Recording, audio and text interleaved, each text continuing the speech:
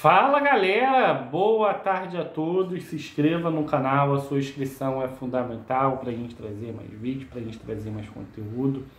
Cara, o nosso rival da Lagoa conseguiu a liberação do Oscar.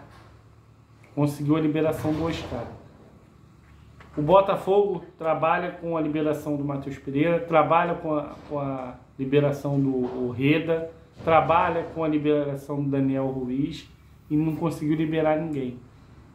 E isso é muito preocupante, porque vai começar a janela. Dia 18 abre.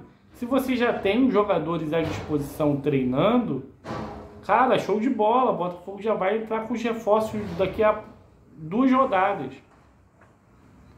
Né? O Vidal, no nosso rival da Lagoa, já está liberado.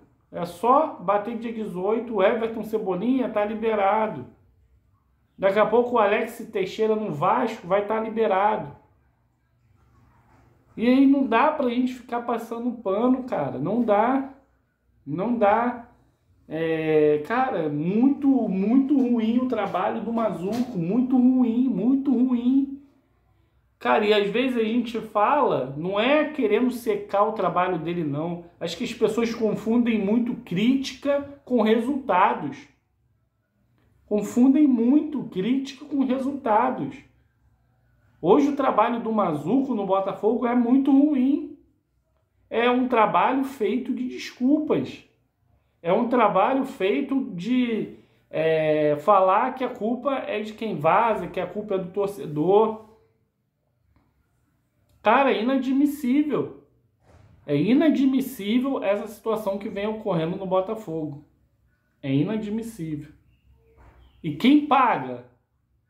O torcedor.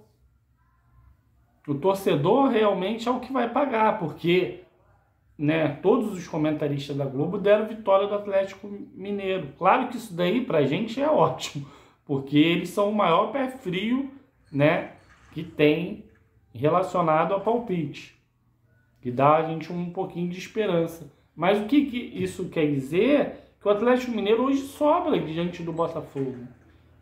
Mesmo com o Turco com o Mohamed lá. Eu estava torcendo para o Turco continuar. Porque se o Turco continua, né, a gente tem a expectativa que o time do Atlético vem mal para enfrentar o Botafogo.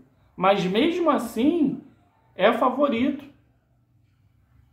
o abismo hoje de, de, de, de time entre Atlético e Botafogo, não estou nem falando de é, raio-x de jogador contra jogador, estou falando de esquema tático. Mesmo o Atlético estando mal, é muito melhor do que o Botafogo.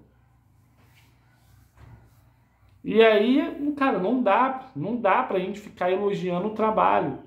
Cara, é, no projeto, tudo bem, a gente vai acreditar, porque sabe que o John Textor está querendo é, fazer um projeto legal, e isso é legal, isso é bacana, né, a longo prazo. Mas os profissionais que você escolhe vai levar você ao, ao futuro.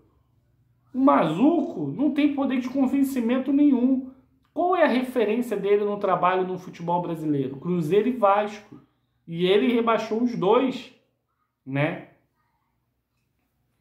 Mas é aí a crítica não é querendo que, ah, cara, se ele acertar, trazer cinco reforços, eu vou daqui no próximo vídeo elogiar.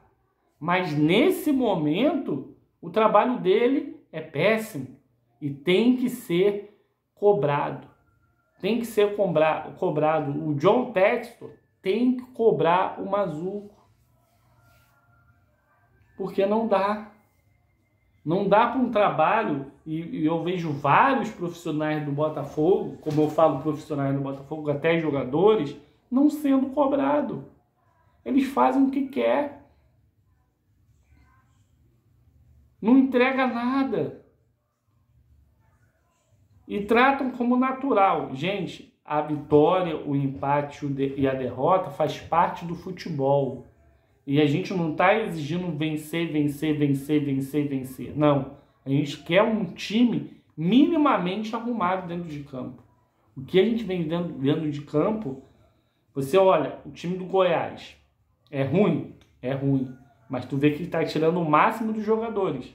Né? Não dá para exigir mais do time do Goiás, do América Mineiro. Ele está tirando o máximo, o Wagner Mancini. Do Havaí, o Barroca está tirando o máximo dele. É, o time é fraco, fraquinho, mas está tirando o máximo. O do Botafogo não tira. Eu não consigo compartilhar nada do Luiz Castro, porque eu perdi a fé. Eu perdi a fé no trabalho do Luiz Castro. Essa é a realidade. Eu perdi a fé. E não vou ficar aqui, ah, vendendo peixe que não, que não, não, não, não tô sentindo. Então, é um trabalho super questionado. Tem três frentes sendo trabalhadas. É, Daniel Ruiz, Matheus Pereira e o Orreda. Vamos ver aonde isso vai dar. Espero que tenha outros nomes nos bastidores também. Se tiver, a gente traz aqui para vocês, porque a situação tá feia. Valeu!